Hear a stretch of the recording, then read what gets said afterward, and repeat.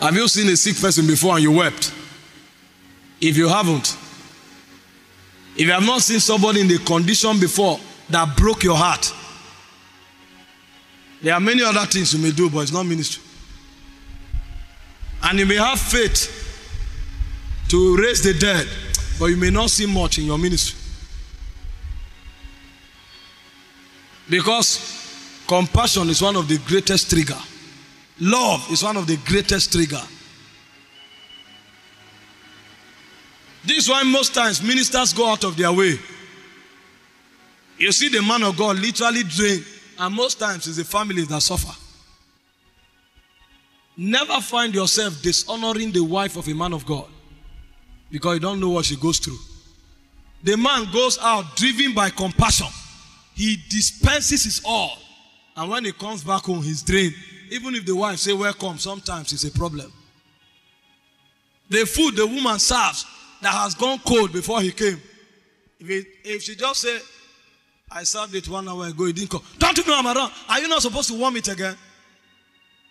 Sorry, sir. It's not the man's fault either. He's drained. And when he's drained, all the virtues can no longer stand. So it's the worst of him that the wife and children sees. That's why you see most times it takes a godly woman to raise the children of the man of God because the man never will. And most times, if the woman doesn't do a good job, the children will be wayward. And you see why the children of pastors most times never do well. Because the man, by reason of compassion, is spent on the people he sent to. You are a young minister. Never marry because you love her. Make sure she's a home builder. Because you will not have time to raise your children. If you truly love the people, you will be spent. Okay, all these young ladies that their greatest strength is their look. That's their worst. Your weakest strength is actually your looks. Because by the time you are 35, 40, your look will already begin to fail you. It is the ornament of the soul, modesty, character, the life of the spirit. That's truly your greatest strength. So if you are a young lady, take time to build your spirit because your husband will need it. The destiny of the children depends on your work. It was Bishop Oyedepo that stood publicly and said, These children, this is the woman that raised them. It doesn't have a hand in it. All the glory goes to her. And what a, what a job she did. These young men can power the whole system and move it forward.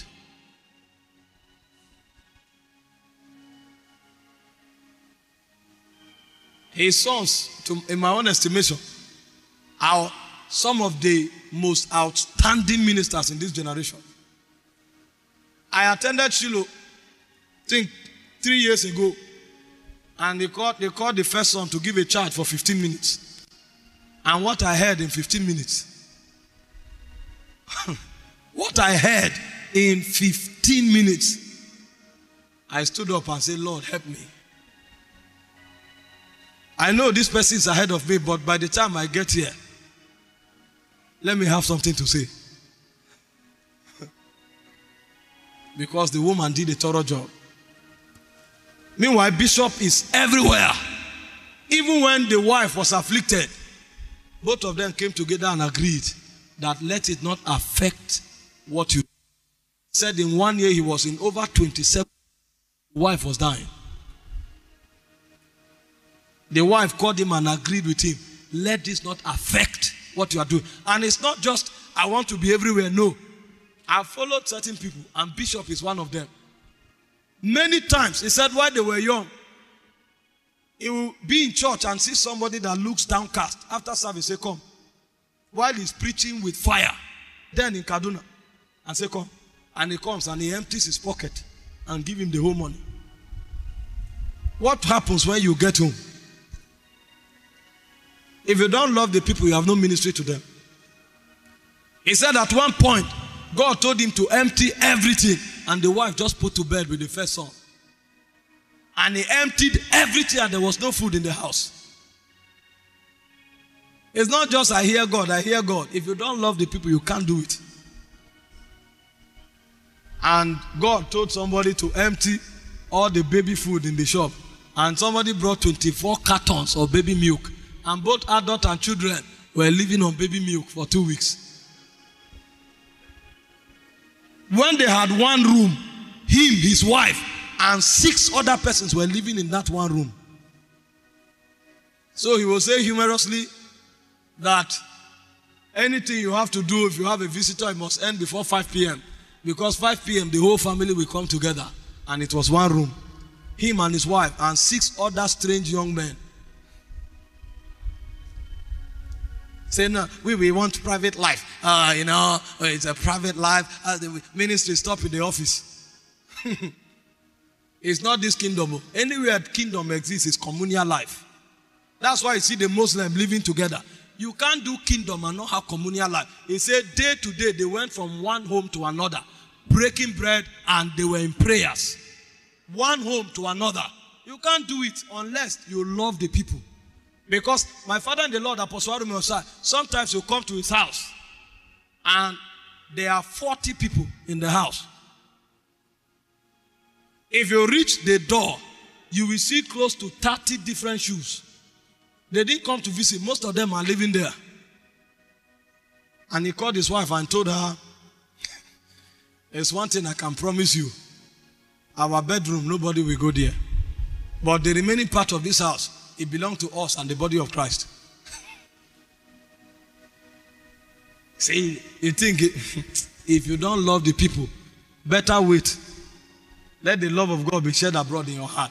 Because the love of God will constrain you. That's kingdom. Kingdom is communal living. You know, um, uh, we can do everything for the people, uh, with, but it's not money the people are looking for, it's God. And sometimes the way they will see God is by observing you. So God will allow them come close. That's why ministry is sacrifice. They are essential qualities, and God sees these things.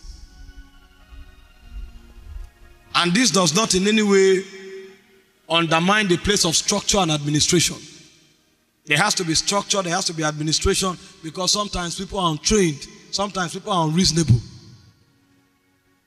The Bible said Abraham had 318 trained servants in his house. Those are men, not the women and children. 318. He could carry people from his house and go to war. But there was structure. Because when Sarah said that the bondwoman and her child should not be part of the inheritance, God said, obey her. So there has to be some level of understanding and structure. So I'm not saying as a young minister, you go and kill your wife and say, no, that's not what I'm saying. There has to be structure. And primarily, there should be love for the people.